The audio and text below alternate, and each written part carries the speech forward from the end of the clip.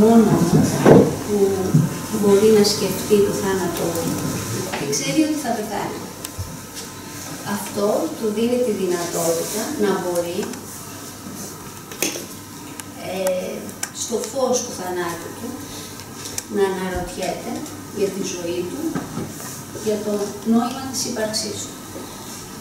Άλλωστε και ο Χάιντιγκερ ε, βλέπει ε, την ανάλυση της θνητότητας ως το αποφασιστικό βήμα του ανθρώπου ε, στην πορεία του προς την αυθεντικότητα. Όταν λέμε όμως θάνατος, δεν εννοούμε μόνο το βιολογικό θάνατο. Ε, θάνατος είναι και ο θάνατος της ύπαρξης. Ο θάνατος που έρχεται ως κατάρρευση κόσμου, ε, ως κατάρρευση των δυνατοτήτων για νοηματοδότηση, ως κατάρρευση ε, του τρόπου με τον οποίο κατανοούμε τον εαυτό μας και τους άλλους. Γι' αυτό το θάνατο, τον υπαρξιακό, ε, θα επιχειρήσω να μιλήσω μέσα από ένα περιστατικό. Πρόκειται για μια γυναίκα 50 χρόνων, στην Ομονία ε, με δύο κόρες 18 και 14, ε, βρεμένη πολλά χρόνια με μια καλή σχέση με τον άντρα, ε, από ό,τι λέει. Εδώ και αρκετό καιρό, περίπου ένα χρόνο, ε, νιώθει ε, σαν τα πάντα να έχουν χάσει το νόημά τους. Ε, τίποτα δεν την ευχαριστεί. Τα νιώθει όλα ξένα, απόκοσμα, γυμνά ε, και ψεύτικα. Ε, λέει πως τίποτα δεν την αγγίζει συναισθηματικά. Ούτε και να κλάψει μπορεί, παρότι θα το ήθελε, δεν της βγαίνει όμως κλάμα. Ε, επιπλέον, ε, σχεδόν κάθε βράδυ, ε, βλέπει όνειρα που είναι σχετικά με το θάνατο. Αυτό στην αρχή είναι κάτι που την τρομάζει, ε, μετά όμως νιώθει μια έτσι, παράξενη ποιότητα με αυτό. Ε, στο σημείο μάλιστα που να φλερτάρει και με την ιδέα του θανάτου. Ε, της ε, φαίνεται κάπως ανλήτρωση. Ε, την αφυπνίζει όμως έτσι, η υποχρέωση προς τη δεύτερη την κόρη, την κόρη τη μικρότερη, που είχε ακόμα ανάγκη. Και αυτό είναι κάτι που έτσι ε, αρκετά ξεκάθαρα την κάνει να αποφασίσει ότι ναι, εκείνη περνάει αυτό που περνάει, αλλά οφείλει, οφείλει προς την κόρη της ε, να τη φροντίσει, να διεκπαιρεώσει τα απαραίτητα μέχρι τουλάχιστον εκείνη να μεγαλώσει.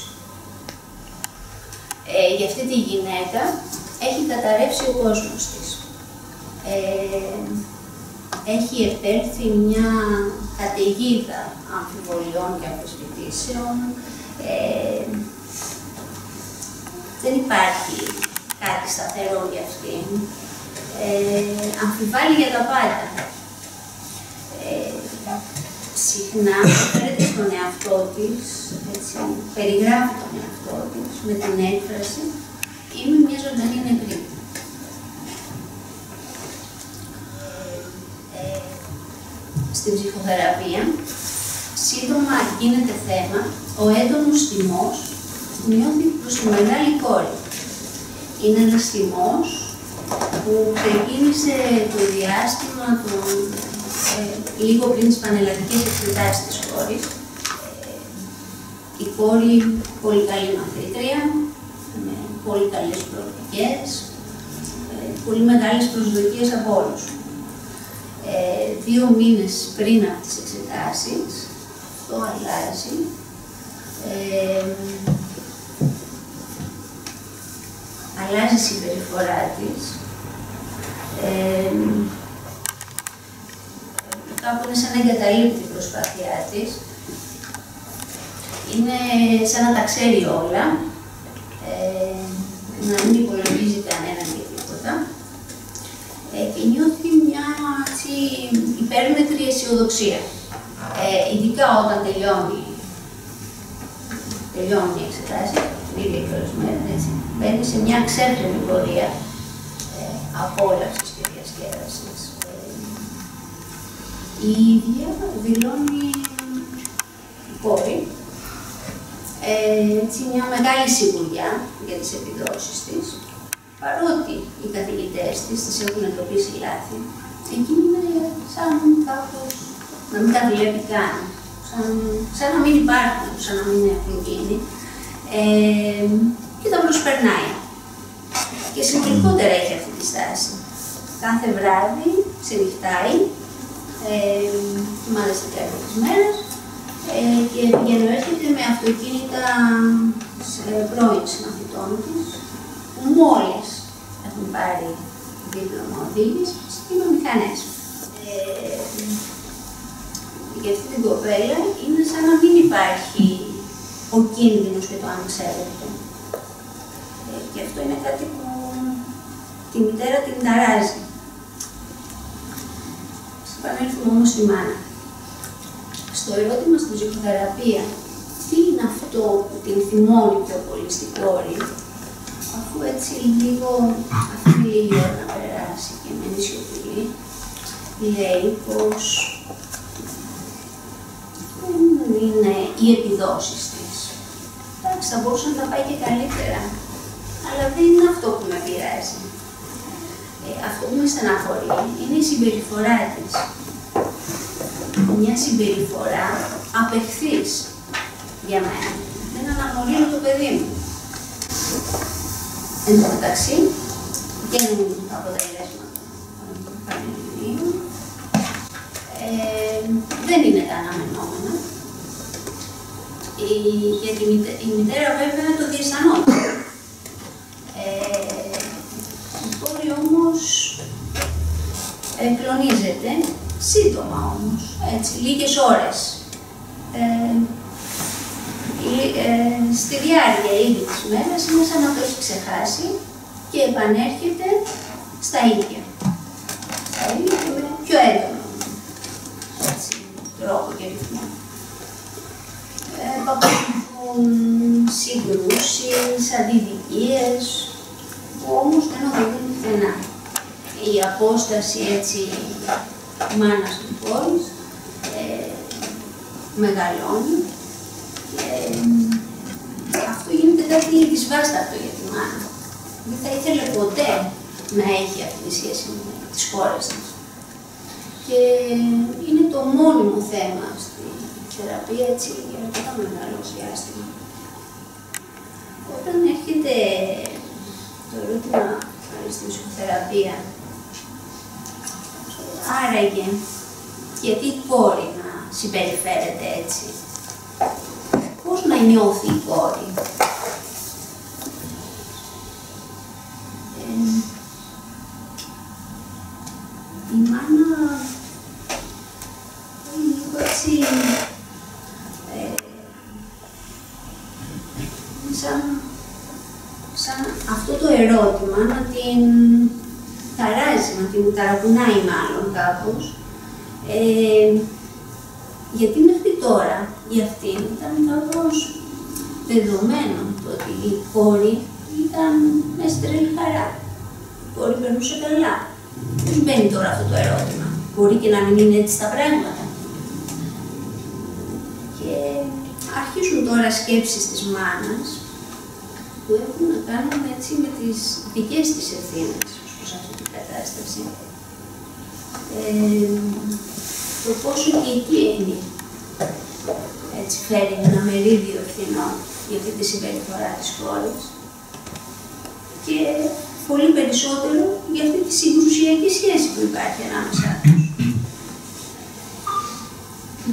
Αρχίζει να αντιλαμβάνεται ότι μπορεί και η κόρη να μην επίσης σκέφτεται ότι όλες αυτές οι συγκρούσεις δεν οδηγούν πουθενά, ανώφελες. δεν ακούει την άλλη. Η, η κάθε μια από τις δυο τους είναι κλεισμένες έτσι, στις δικές τους κατασκευές. Νομίζουν ε, η κάθε μια ε, πως ξέρει πως νιώθει η άλλη. Άρα πράγματι το ξέρει. Και τότε της έρχεται έτσι η διάθεση να μιλήσει στην κόρη για άλλη μια φορά, αλλά από μια άλλη θέση. Μια θέση διαφορετική. Ε, από τη θέση της μάνας που κυρίως νοιάζεται για το παιδί της, ε, τη θέση της μάνας ε, που έχει ευθύνες ε, και εκείνης που δεν ξέρει πια τι είναι το καλό. Ε, και αναλαμβάνει έτσι κάπως να μιλήσει από τη θέση του ανθρώπου που δεν ξέρει. Η γυναίκα δηλαδή ε, ανοίγεται, θα λέγαμε έτσι, προς τον άλλον. Ε, θέλει να κάνει μια ουσιαστική επαφή πια με το παιδί Και μια μέρα λέει στην κόρη της ότι θέλει να μιλήσουν. Και παραδόξως, ε, η κόρη υποδέχεται πρόθυμα. Και είναι η πρώτη που ξεκινάει ε, τη συζήτηση και λέει στη μάνα; Το ξέρω, δεν είσαι ευχαριστημένη. Δεν επιβεβαιώθηκε η εικόνα που είχε για την κόρη σου. Σου χάλασε και τη δική σου εικόνα. Τι θα λένε τώρα οι άλλοι για σένα; Ε, θα μπορούσα να είχα πάρει και καλύτερους βαθμούς. Δεν πήρα. Ε, και τι έγινε;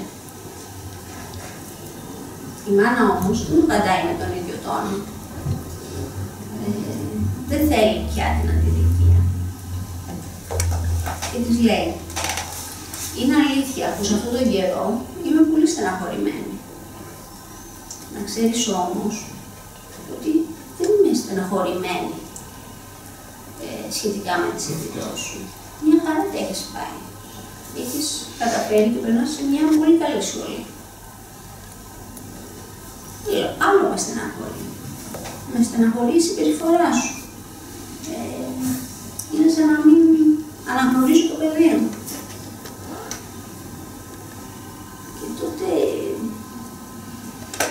κόρη απαντάει με μια ανακούφιση.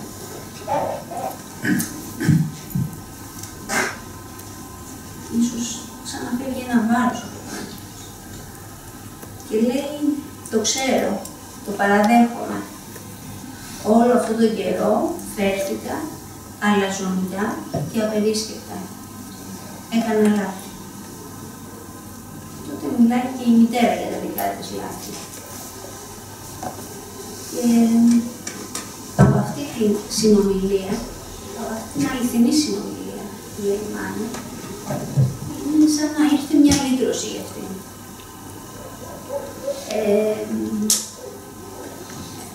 στην ψυχοθεραπεία ότι ήταν ε, σαν ε,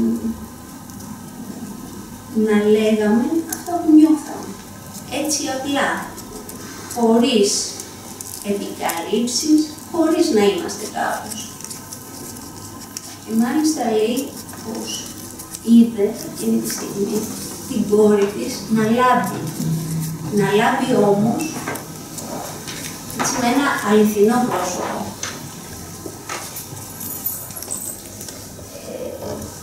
Και αυτή τη γυναίκα βέβαια, έτσι, υπάρχει το αίτημα από έτσι όπως θα έχει πέντε ζωή, να χρειάζεται να επαναπροσδιοριστεί προς, προς όλους τους τομείς της ζωής της. Αυτό βέβαια είναι αυτή η αληθινή συνάντηση με τη κόρη, που άλλαξε κατά πολύ την επαφή με τις κόρες της και το πώς πλέον επικοινωνεί. Της έχει δώσει έτσι πολύ μεγάλο κουράγιο και δύναμη. Κάπως έτσι καταλαβαίνω την πορεία προς την αυθεντικότητα του Χάιντιγκερ. Μια πορεία όπου κανείς, περνώντας μέσα από την κατάρρευση των νοηματοδοτήσεων και των μέχρι εκείνη τη στιγμή οικείων τρόπων της ύπαρξής του, αναρωτιέται για το δικό του, για το προσωπικό του νόημα, για τις δικές του αλήθειες.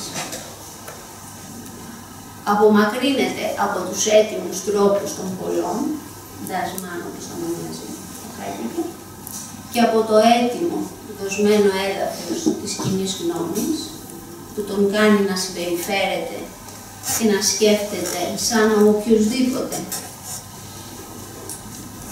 και αποκτά το δικό του πρόσωπο, το ίδιο θα λέγαμε. Θα ήθελα να κλείσω με μια φράση του όψιμου Χάιντεγκερ, που νομίζω ότι καταφέρνει και να συνοψίσει και να υπογραμμίσει ε, τα όσα είπαμε τώρα. Ε, στο έργο του «Καθοδόν προς τη γλώσσα», αναφερόμενο στο συμβάν, λέει ε, το συμβάν είναι το αφανέστατο του αφανούς, το απλούστατο του απλού, το εγκύτατο του εγγύς, το απομακρότατο του απόμακρου, στο οποίο εμείς οι άνθρωποι διαμένουμε όσο ζούμε. Αυτά.